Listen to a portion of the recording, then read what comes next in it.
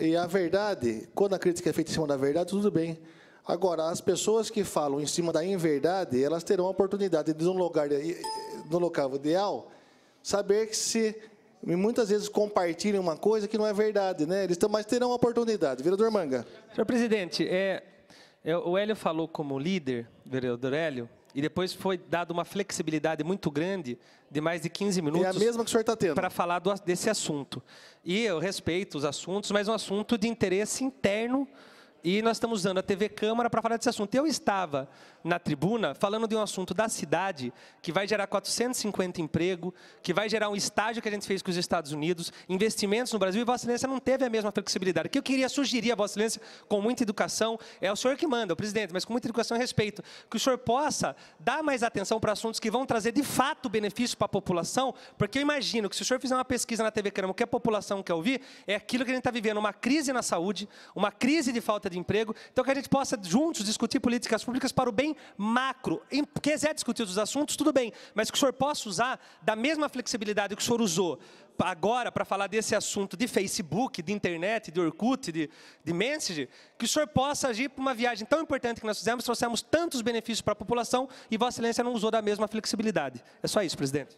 É, vereador Manga, nós sabemos mais uma vez que esses benefícios, eles é, primeiro, o, o, a, a, sua, é, o senhor está importunado, nós sabemos por quê.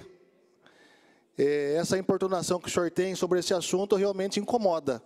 É, é, incomoda. Esse assunto que nós estamos discutindo incomoda mesmo. Todos nós sabemos. É, mas sobre os Estados Unidos, vereador, eu só espero que não seja igual os 15 milhões que estão aqui e que foram questionados pelo padre Flávio, que diz que veio e que não veio nada né? E essas coisas ninguém sabe. Tenho certeza que queremos acreditar que esses recursos virão, torcemos para isso, mas que isso não seja mais uma situação dos recursos que vieram para Sorocaba e até agora, após meses, não foram apresentados. É, sem mais delongas, e o assunto realmente é um assunto que alguns se incomodam com comissões. Projeto em primeira discussão, projeto de lei 260. E ó, outra coisa, vamos só verificar daqui até quinta quais serão os desdobramentos dessas nossas falas, ok?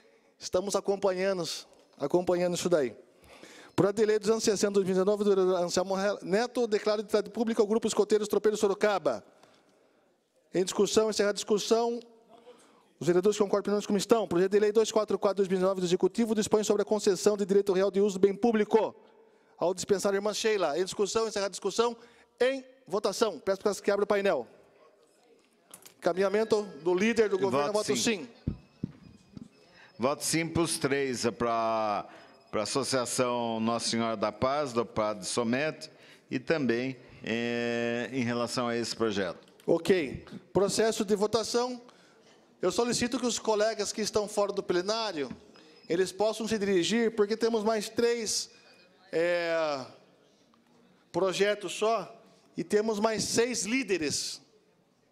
Quero aqui parabenizar, enaltecer ah, os nossos agentes de trânsito.